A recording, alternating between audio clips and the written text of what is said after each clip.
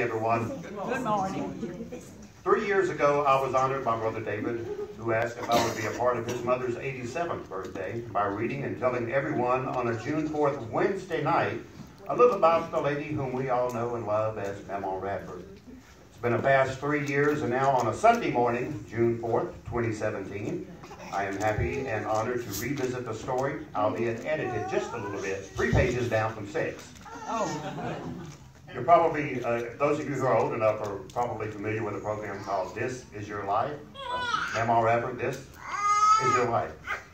Back on June 4th, 1927, things were somewhat different than what we experience today. For your information, the cost of a house for those who were more fortunate was about $7,900. A new car that year would set you back $360. That's not a Wow. monthly payment, that's for the whole car. Those able to afford the car needed gasoline, which was a whopping 15 cents per gallon. A gallon of milk was 45 cents. The average annual wage was about, oh, $1,100 for those with jobs a little better than picking cotton out in the fields back then. Well, it was on this date, June 4th, during that year, in Bassett, Arkansas, that a sixth child was born to Charlie and Velma Preston. Legally, her name was Mary Catherine Preston, but along the way, she also became known as Rosalind and or Polly. Well, by 1937, and this time, this time, we will skip a lot here, 10 years, a decade. By 1937, Catherine's life had changed tremendously. In those 10 years, her parents had divorced. Charlie, her dad, took the three oldest children, while Mama Velma kept the three youngest.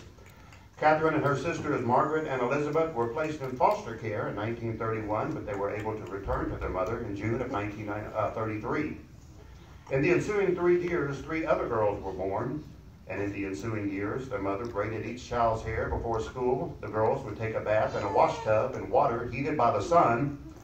Their water was drawn from a well, which was typical of that time. And the powder room was an outdoor toilet. A wash pot over an open fire became the washing machine. The agitator was a broomstick. And a scrub board was used for that really dirty laundry. There was no tide or cheer, so the lye soap was rinsed out and the clothes were hung on the fence to dry. By the way, in 1937, housing costs actually dropped to around $7,100, but that new car would set you back about $760. Gas was 20 cents a gallon and milk had jumped to 50 cents a gallon. Okay, we're zooming right ahead. It's now 1947. Catherine is now a young lady, just 20 years old. And for those keeping score, the cost of that new house, $13,000. The new car, $1,500. And the cost of milk was rising faster than the cost of gasoline. And some people were making as much as $2,200 a year. And during the time from 1937 to 47, Catherine experienced events that changed her life. So one day during this period, she's on a bus and is seated by a serviceman named Robert Floyd Radford. It seems that Mr. Radford's personality was that of having never met a stranger, so she took interest in him and listened to his stories as they traveled. And later they continued corresponding by writing and sending letters back and forth. Well, on July 24, 1944, Catherine married Robert Floyd Radford.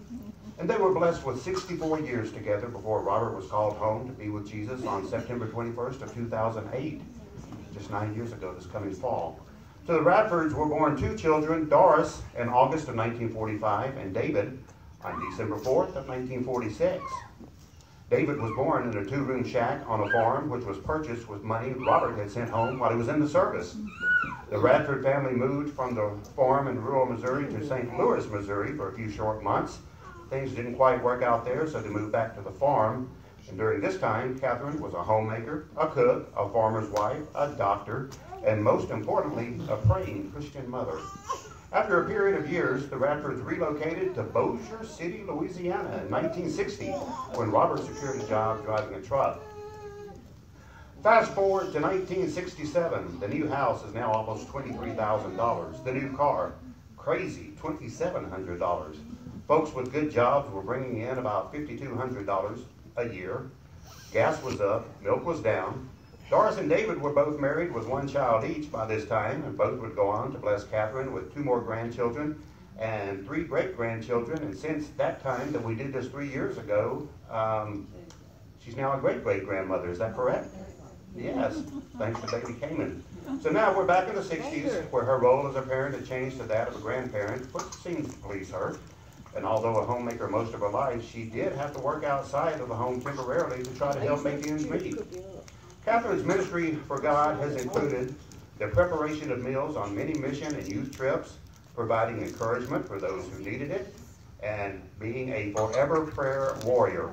She has always loved gospel music and always enjoyed singing with church choirs. And those who know Catherine really know what a wonderful person she is.